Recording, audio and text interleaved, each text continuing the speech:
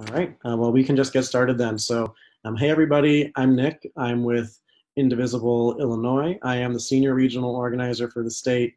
Um, so that means I help coordinate all the groups out here. Um, here in Illinois, we are part of the Indivisible Network. Uh, we have over 6,000 groups nationwide, and we are really fighting for a number of things as we head into the election in November, from flipping the Senate, growing our majority in the House, and making sure that Donald Trump is a one-term president. Uh, we started out in 2016 with really combating the Trump agenda, uh, and now we are pushing for a number of progressive policies across Illinois and really the Midwest uh, to make sure we elect true leaders that are really fighting for our values. so on this call tonight, uh, this is the virus-free voting Illinois call. We are largely going to be talking about a lot of voter education work and anything we can do to increase vote by mail as we head into November. Um, on this call specifically, we have a number of local leaders. We have Marie Newman, who is the third district Democratic nominee for Congress. Uh, we have Yusuf Vidal, uh, who's with the Illinois Muslim Civic Coalition, uh, as well as Cook County Young Democrats. And we have other representatives from Indivisible Illinois and the Wisconsin Democrats.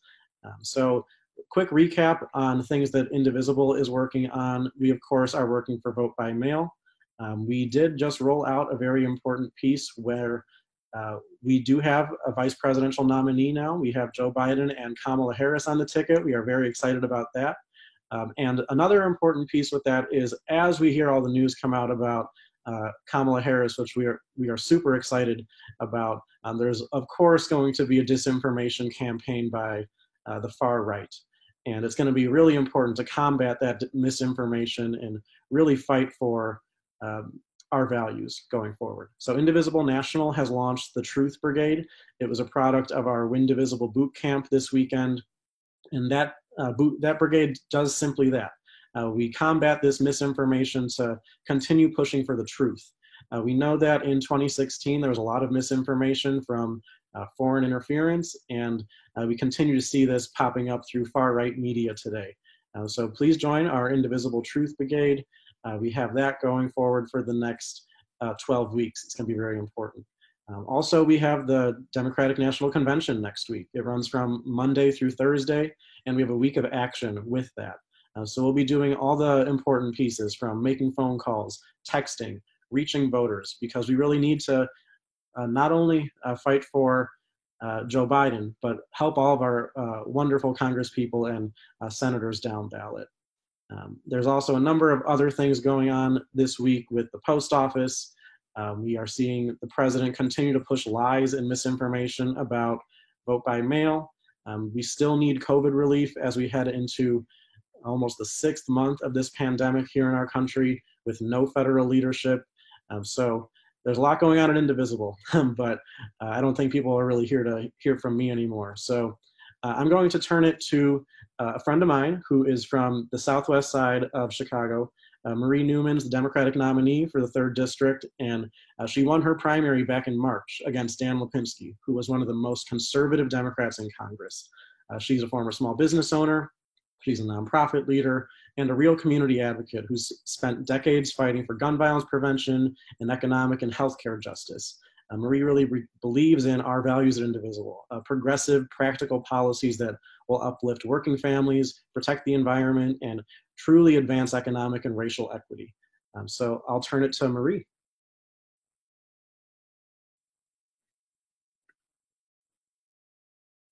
Okay. Can you guys hear me now? You're good. Mm-hmm. Okay, good. Great. Um, so thank you for having me and hello indivisibles. It's so nice to see everybody. It's good to see familiar faces. So um, I thought tonight what we might do is I would give you a little update on the campaign um, and then a little bit of an update on um, what I know about the negotiations in um, DC around the next Relief Act. Um, and then I'm happy to take questions. I know Nick has a few for me. So update on the campaign. Uh, big news is the big update. Uh, we are kicking off our voter outreach program this Sunday with a um, our first phone bank. We're going to be primarily phone banking right now, as you all know. We're in a pandemic, and uh, we're trying to figure out how to do digital organizing. So Um, we're primarily right now phone banking, um, a little bit of texting, um, and then doing some other kind of creative planning work. Um, where and then I will be actually try knocking some doors too. So, um, and the way we're going to do that is a very protocoled way. Um, we're going to not ask our volunteers to walk and knock doors right now, just because I don't think people are comfortable. Um, but I am going to be knocking doors in a very protected way with other electeds in certain areas to make sure people uh, know about the importance of this election. Because right now, one of the key things we can do on the Southwest side is not only to make sure that um, Democrats are uh, elected up and down ballot, but that um, they understand the criticality of this race in in a very personal way and um, the only way I know how to do that is actually knock the door myself. So we're going to be doing heavy knocking with myself and just my team. Um, so um, that's what we're doing. But we are starting phone banking on Sunday. So if you want to go to my page, and we dropped it into the chat, I think, um, the, and sign up to volunteer for now. And then from here forward, uh, starting tomorrow, you can sign up on um, the events page on, in our uh, website, which is marienewmanforcongress.com. Um, so voter outreach is the big deal. Um, the I think the dynamics in the race are, are pretty obvious. Our Republican opponent in Will County is extremely far to the right and is a uh, Trumper in every way, supports everything that Trump does. So, you know, anti immigration um, is a um, definitely a trickle down guy when it comes to economics. I can't believe people still use that term, but they do. I just heard him use it the other day and I was like, wow, I haven't heard that in about 10 years. That's fine. Um, so, Uh, he's that guy. We and the one thing that I have to say to everybody is that this race is not over. I know everyone thinks, "Oh, Marie's got this." You know, that's when you lose elections. Um, that's when Hillary lost her race. So let's not do that. Um, I realize lots of people need Indivisible's time and everybody, but um, if you can squeeze out a few hours here and there for me, that would be super helpful. We have to make sure this is a very decisive win, up and down ballot.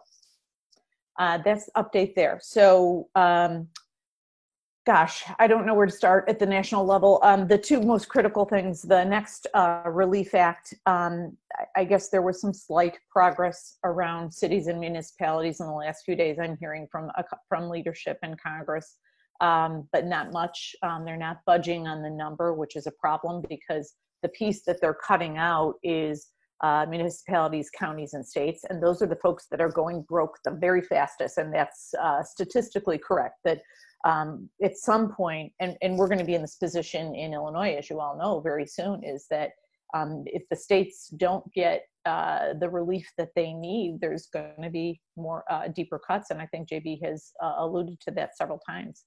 Um, so very scary stuff.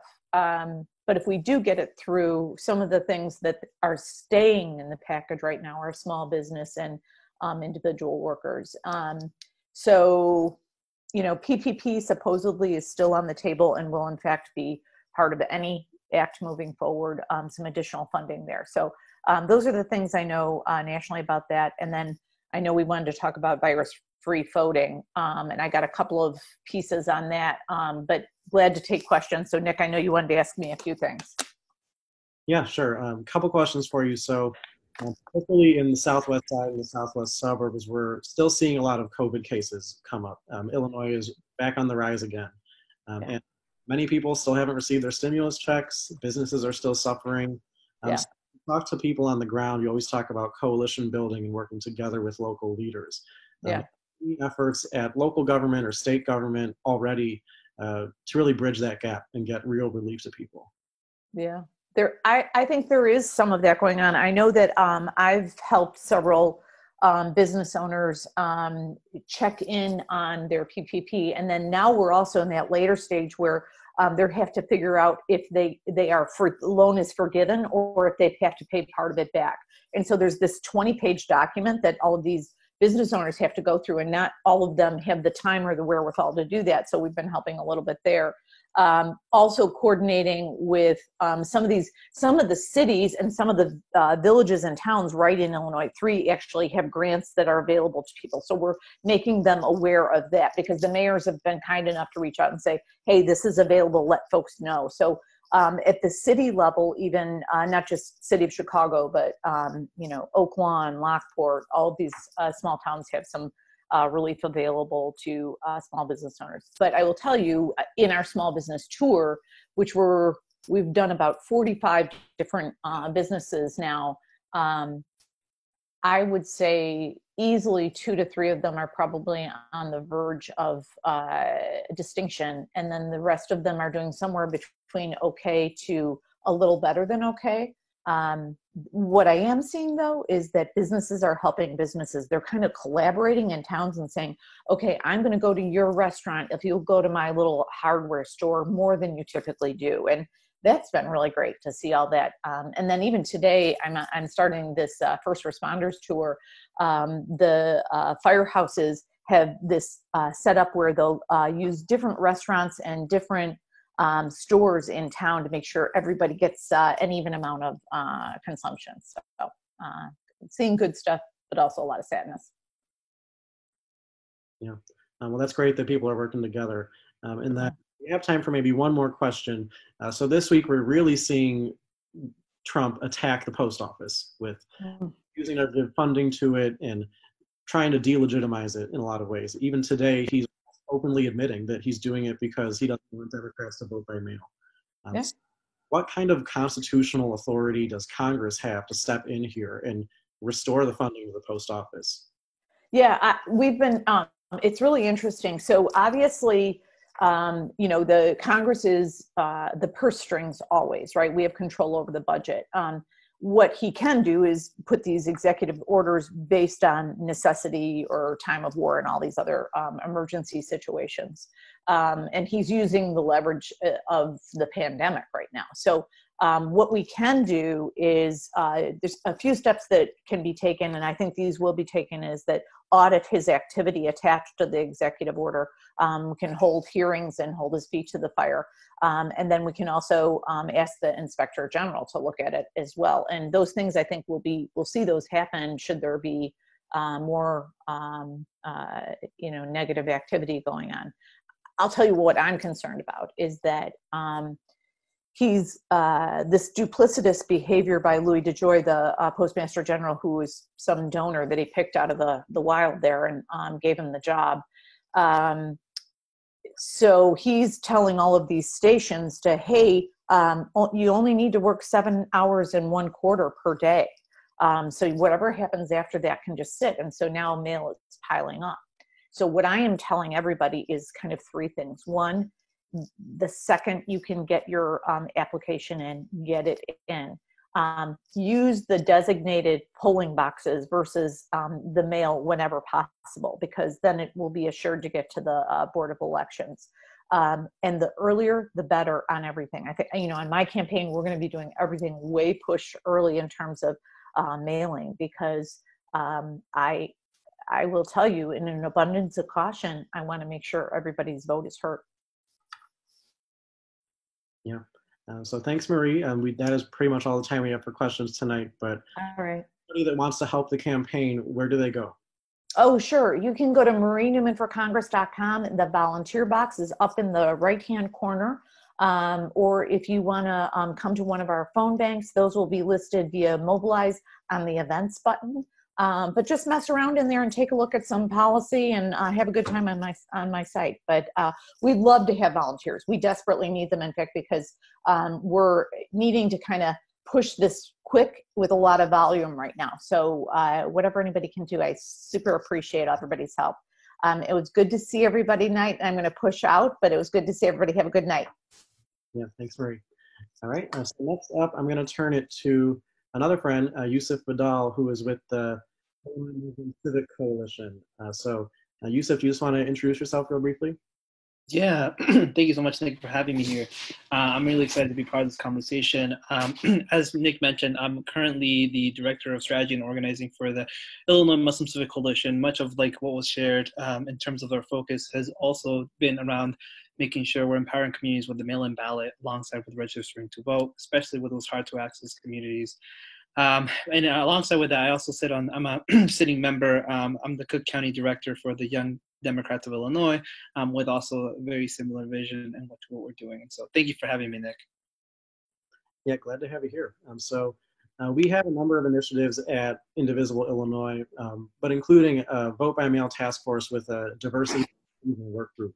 Um, so do you want to talk about uh, some of the work you're doing to reach those hard to reach communities? Sure, sure.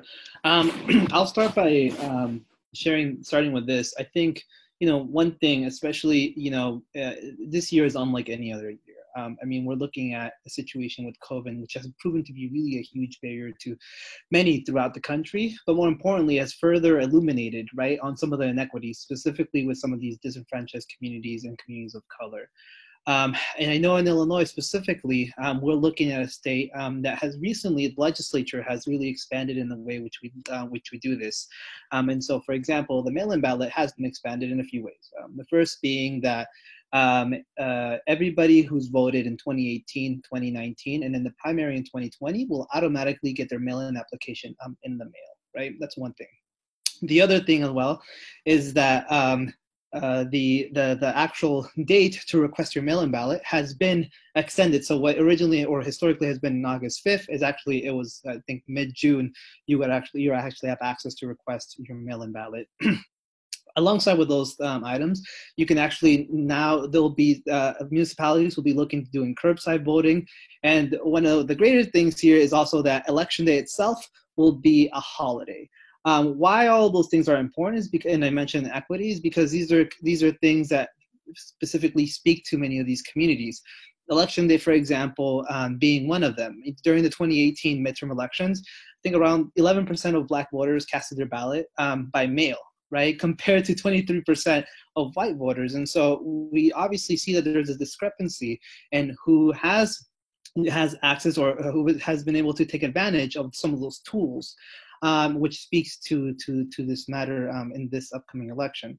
Um, because in order to you know vote by mail, you have to be uh, first one has to receive the ballot right um, to their address, the uh, and then they have to they, they they may prove challenging for people who maybe have uh, who may not have permanent permanent residence or maybe shifting around, um, and so again, this is something I think is will will continue further dialogue and how we do this right, and so you know, we're looking at the greater Chicagoland area, and you know, the our, my work extends, uh, you know, right now in terms of the greater Chicagoland area, but we also work statewide.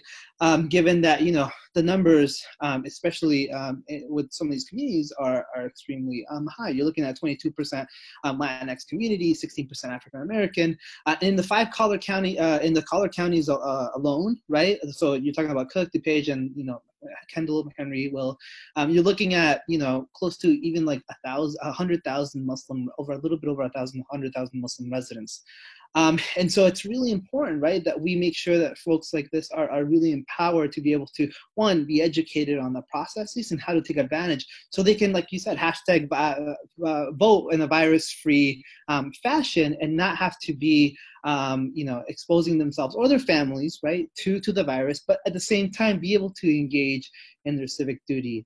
Um, and so, and so our work again is primarily to focus on both empowering and, and by education, and also making sure that folks um, have there are steps in which they can leverage you know not just uh, you know for themselves but also for their networks to be able to do this extremely um, well um, and so I think that you know like that's kind of like the work that we've been doing. Um, obviously, we have a certain goal um, leading up to the election. It's no secret we're I think a little under 85 days um, there, and I think it's going to determine it's going to it's going to depend on all of us to kind of come collectively and make sure that we are empowering our communities in a collective fashion. Yeah. Um, so um, another piece about you is you, you, know you work with the cook or the the young Dems of Illinois as well. Um, so when we look at young people, which is always the you know, every demographic wants people to make sure they vote. Um, so it, with COVID, it's probably much harder. But how are right. Young people to really engage them in this upcoming election? Right. You know, it's funny you say that because I think uh, when you're engaging with young people. I mean, mail-in ballot, just mail in general. Um, that's there's definitely some generational gaps when it comes to uh, using uh, uh, uh, you know your, uh, postage and, and, and, and, mail in general. So I think it's important to make sure that we're again uh, empowering our community, especially young people, to be able to take advantage of the mail-in ballot and what does it look like. I know in certain counties, for example, they do provide postage, which is great because it skips some of the steps and they're able to take. Uh, it, it's a little bit simpler in which what they have to do to be able to um, you know go through the process. Um, but for young people specifically, right, I think it's really important for them um, to also understand that there's a longer term in terms of some of these repercussions um, if we don't get involved in this election. Um, you know, obviously we've seen what happened in the last four years, um, and we cannot have that happen in another four years. Um, we do. There are certain issues across the board on education uh, and climate change, healthcare that uh, it will will speak for generations um, to come. And so I think it's important for us to understand what what what uh, casting our ballot means this year, uh, because um, it will have repercussions. Oh yeah, for sure. And the thing I do like about vote by mail too is it's all around your schedule. It is right problem for me because I work all the time. but uh, you know, you can put your ballot in a drop box at many locations across the state. Um, you can mail it in whenever you have it ready after a certain date, um, and it's really around you. So it, it, makes it a lot easier this time with um, the state yeah. now been signed. Yeah, and you can do it extremely. I mean, like you know, for especially for young folks, um, it's you can request your application online. Um, I know there's a few links that are going to be put forth, but uh, like you can go to you can go, quickly Google your your your county clerk. Um, you can it, it, takes two minutes um, to uh, to to if you're not registered to vote, register to vote. In the same application, you can also, and many times, like in Cook County, for example, you can also request your mail-in ballot in the same application um, and then you should be expecting it right? And then again going through the mechanics of, of just continuing to to to do that earlier rather than later because i know the the, the postal office was mentioned earlier and i know there, there um, there's already um, they're already recommending that you know you try to get yours in earlier rather than later um, because you want to make sure that your ca- your ballot is casted and, and counted. Um, so like I was asking Marie, so how is there, um, or, or, are there any ways we could help you in the work that you're doing with either one of the organizations? Yeah, so I think the first thing and first and foremost is first, uh, if you're not already registered to vote, registered to vote. You you don't have to do it in person if you don't feel um, safe. Um, you can do it um, via phone. You can call them. Um, you can do it online. You can do it in the mail. Um, there are a variety of ways to do that. Um, if you're already registered to vote, great. Then request your mail-in ballot, um, and you can do it in the same fashion.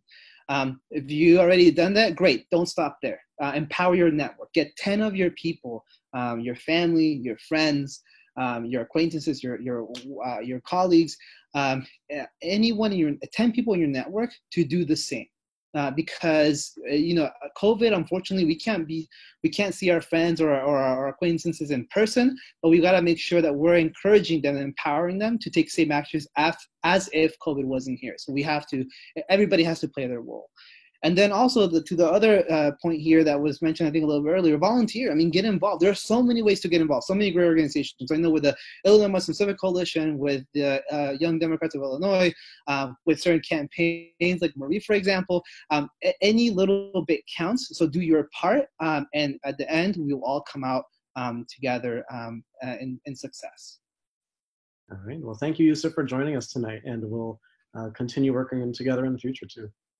Thank you, Nick. Thank you for having me. And so next up, I'm going to turn it to Rose, who's going to cover some election updates. All right, thank you very much. And uh, Yusuf, we have to talk. So uh, I am with the Vote by Mail Task Force with Indivisible Illinois, and we do have a divergent, I'm sorry, a diversity and inclusion group that meets every Saturday at noon. If you're free, I would love to collaborate. We're walking down the same path, so uh, would most definitely like to walk down that path together. So uh, welcome everybody. So happy to be here with all of you. It's an exciting time. We did get uh, a burst of energy with our uh, VP candidate, and I, I, have to tell you that uh, Kamala Harris was uh, my candidate for president. So I couldn't be more excited, thrilled, and uh, the whole shebang that um, she and Biden are going to win in November. I do have some slides for you, so let me just say a couple of words of introduction. So uh, I am the Indivisible 2020 coordinator. That means I have been working uh, since really since uh, Indivisible started in 2016 on election security, voting rights, as well as winning in swing states. And uh, for us right now, and for a long time, looking at you, Heba and Ellen, that means Wisconsin. So uh, full support to our friends and neighbors that uh, have a Herculean job in Wisconsin, and um, we are there to work with you. So let me see if I can uh, fire up this deck. Helps to hit share screen.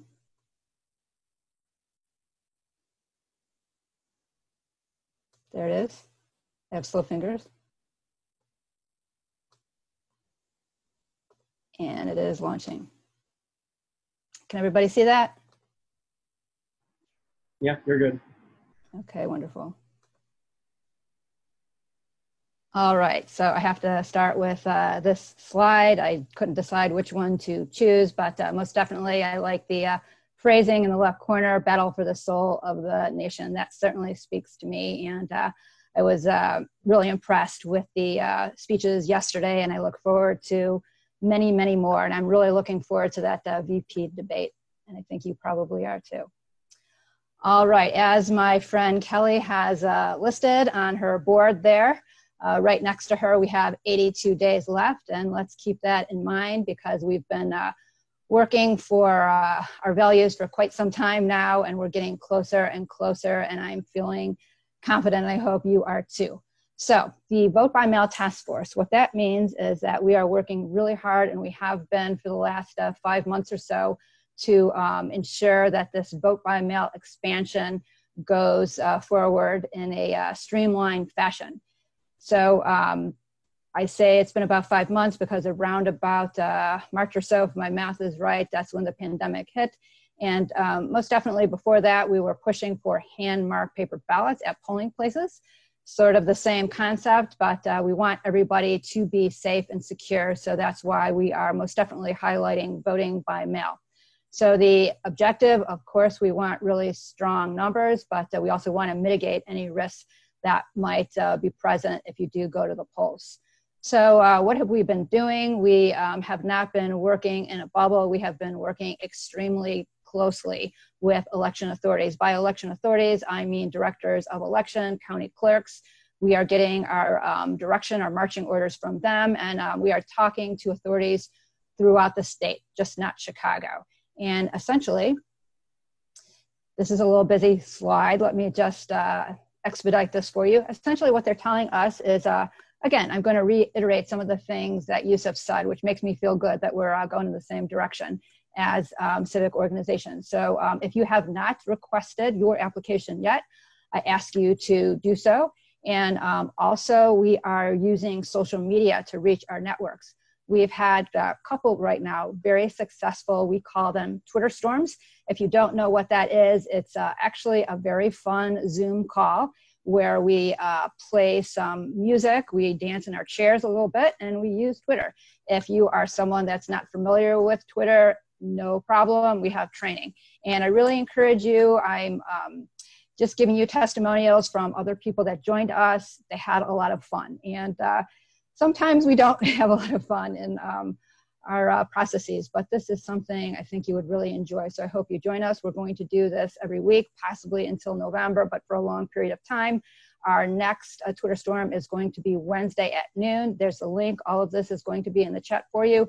And the following week is going to be at 5 p.m. We're just going to alternate back and forth to meet people where they are, the daytime people and the evening people. Also, um, Illinois, actually, probably most of the states, folks are transient. Maybe not so much now during the pandemic, but we move around a lot. So we have been asked and tasked from the election authorities to contact ISBE. ISBE is the Illinois State Board of Elections. You can Google it and let them know. We call the uh, utilities and Netflix. We don't often know, let um, the Illinois State Board of Election know that we have moved. So I encourage you to do that. Also, we were really excited when we had our Twitter storm yesterday. We uh, were joined by the Chicago Board of Elections, my friend Jim Allen, who is the communication director there. And um, he now is asking us to recruit for poll workers. As many of you know, a lot of our poll workers are in the at-risk age category, 50s, 60s, 70s. We are trying to recruit younger folks via the new law that Governor Pritzker signed, and um, I believe it was June the 16th. That poll worker can start at the age of 16, so that's new for us. So uh, please do reach out to your networks for that.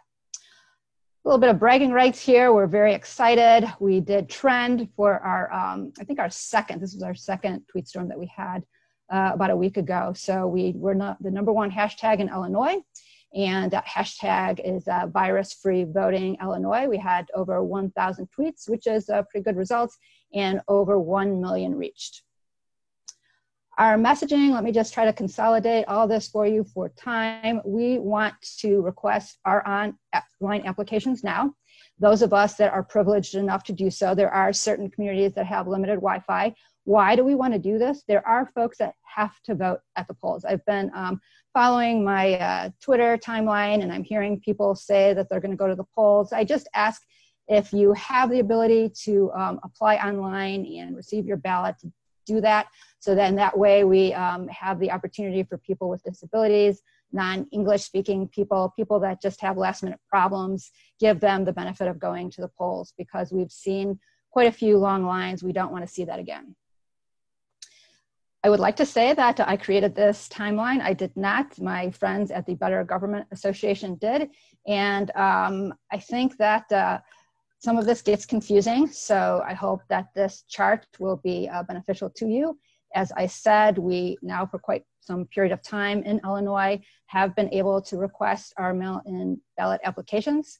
Um, August 1st, this is what uh, Yusuf was referring to. August 1st was the start when um, a select group of folks did receive their applications, or at least they started going out. Uh, September 24th is when ballots are going to begin going out. So um, please make a note of that so we look out for those ballots.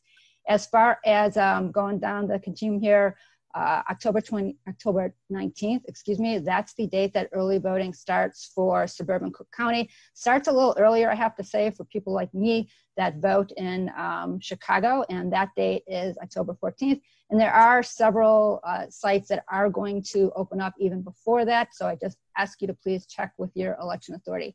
October 29th, I almost don't even want to mention the date. That's the application deadline, last day to apply for a mail-in ballot.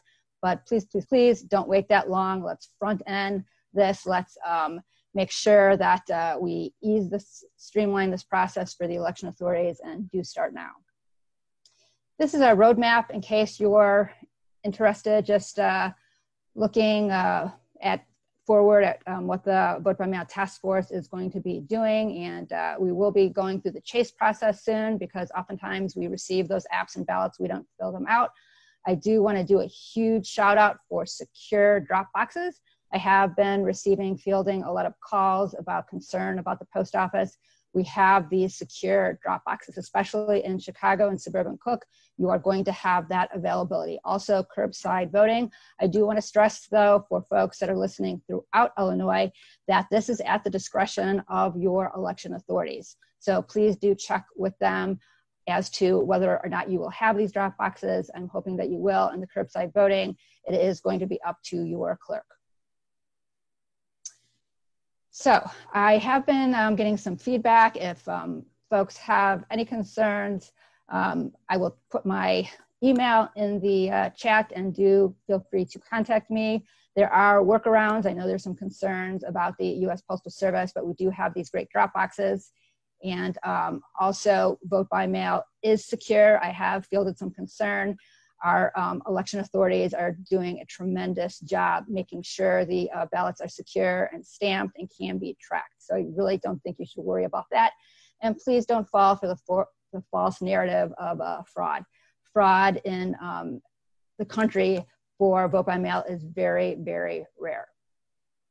Other questions such as, um, what if I receive my mail-in ballot and I change my mind and I'm, I am an election uh, judge? If that happens, bring your ballot with you, go to the polls, hand it in to a judge, and you should be able to vote regularly. If uh, that is not the case, you don't happen to have your mail-in ballot with you, you will vote on a provisional ballot. Again, happy to field any other questions. The, I think this is my last slide. So um, I just want to point out that uh, it is really important to make a plan. I remember when uh, we were all able to canvass quite a bit, and I thought that this was not a necessary question. And uh, when we asked folks, when we knocked on doors, what their plan was, they just looked at us in amazement, and we walked them through the process. So um, this is a great article. If you can see it, it's faint at the end of this chart. Uh, Steve Rosenfeld, he's a voting rights hero, and uh, he draws out a plan and very basic, as Yusuf was talking about. First is registration, second is getting one's ballot, third voting and turning in the ballot. But there's a lot of helpful hints in this article, so I do ask you to take a look at that. And I was right. That's my last slide. Thanks for your attention. All right, uh, so now we're going to turn it to the Wisconsin part of the call. Um, so I think we have both Heba and Ellen on. So um, Heba, do you want to start and just update us on what's going on in Wisconsin? Sure, yeah. Thank you all for, for having us. Um, for those who are on for the first time or who I haven't met before, uh, my name is Heba Mohammad. I am the Digital Organizing Director for the Wisconsin Coordinated Campaign. Um, yeah, this has been a, a pretty pretty calm week for us. Um, obviously, I'm being facetious. Um, we had a huge election on Tuesday. Um, it's been a big week. I know everyone's looking at me like, "What are you talking about?" Uh, it's hard for me to talk about. It's just it's it's been a blur. Um, we had a huge election on Tuesday. It was amazing um, in the sense of of we really had a robust voter protection operation. All of the work that our volunteers have been doing for the last several months um, really came through, and we made sure that as many people as possible were voting by mail, and those who did have to go in person um, knew how to do so safely and had all of the options available to them. So I will make sure that Ellen um, touches on all of that and, and all the amazing work they've done um, and how you can get involved. Um, looking forward, um, we have a lot coming up. Um, we have our vice presidential nominee now. Now that the primary is over, we have our full slate of down ballot Democratic candidates that we'll be supporting um, as a Democratic Party and as a coordinated campaign. Um, and we just have a lot of work to do. Um, so we have uh, a weekend of action coming up at the end of this month where we, we will be phone banking um, to voters in Wisconsin to make sure that they know how to request their ballots for November, that they know who their down ballot Democratic candidates are, and that they have all the support that they need um, to, to make sure that they are voting successfully and safely this year. Before that, and in just a few days, we are starting the Democratic National Convention um, in Milwaukee.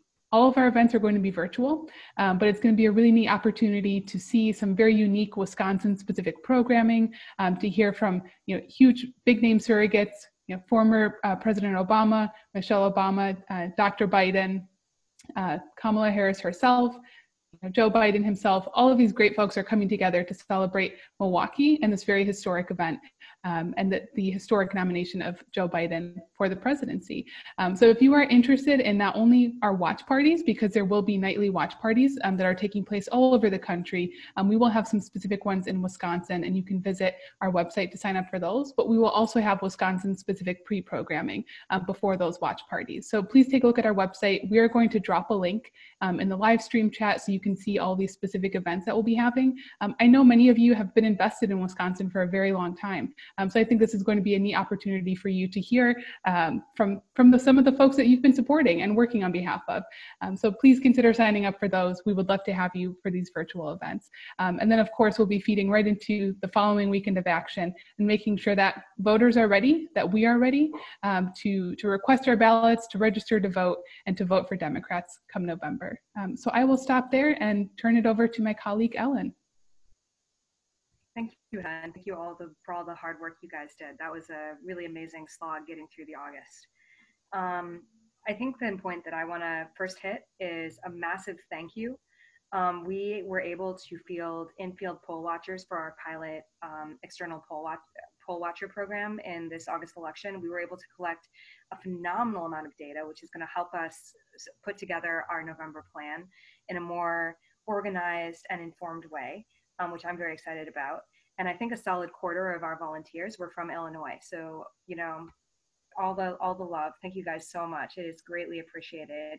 And I want you to know that the data you collected for us is getting used right now. I am digging into it. I am so excited to see what we can do to really work with things safer. Um, which brings me to my second point. Um, so we heard earlier on the call how timelines have moved up this year. And so I think in my head a lot about sort of internal timeline I have going on. Like first we need poll workers because we need to open more polling places to allow an in-person voting option for those that choose to do so. Okay, when do I need them by? I need them by the end of September because uh, Clerks Across Wisconsin announced the number of polling places they're going to open in early October. Um, so we are still moving forward with efforts, and specifically now we're focusing on specific municipalities and doing more concentrated efforts to reach out to places that we know we're having trouble in order to find poll workers and get them in before this deadline so that we can open the maximum number of polling places. Second, we are following efforts to call through municipal clerks, collect information about their early vote plans, um, the information about where the drop box is. Um, the drop box is, for example, where you can leave your absentee ballot if you want to be absolutely certain it will arrive in time to be counted. And um, if you also want to not worry about the US Postal Service. Uh, so we want there to be drop boxes in every municipality in Wisconsin where voters can safely leave their ballots. We want these drop boxes to be open well in advance so voters can drop them off. And in case there's any problems with, say, the certification form on their ballot, in time for the clerk to reach back to them to correct this. Um, we're also going to be running pilot programs uh, to try and chase down people who have submitted an absentee ballot with a bad certification to try and help them correct it. Um, there's a lot of stuff going on, and if you want to be in the loop to be part of this, uh, the I will put the link in the chat, but it is wisdems.org slash voter protection. Just go and sign up there and give us an idea of what you're interested in, and we will get you on board. Um, a lot of our phone banking efforts, I know that people may not always be into phone banking. Ours is somewhat different because we do, we are going to be beginning to be targeting very carefully. We are not going to be blanket in people. And even to the extent that we do call a lot of people, like they tend to be friendly Democrats because we're trying to find poll workers and poll watchers to help us um, protect the vote and make the vote possible on election day. I will uh, let it go to questions and I will put the link in the chat. Many people on our calls are times a week, so I'm glad to have you here. Um, so we do have a question in the chat. Um, who would we contact, local city or county election boards for the locations of the ballot drop boxes? So I, I believe, Rose, uh, do you think you can do this question? Yes, Mary Pat and I have been communicating privately, but uh, I am willing to share.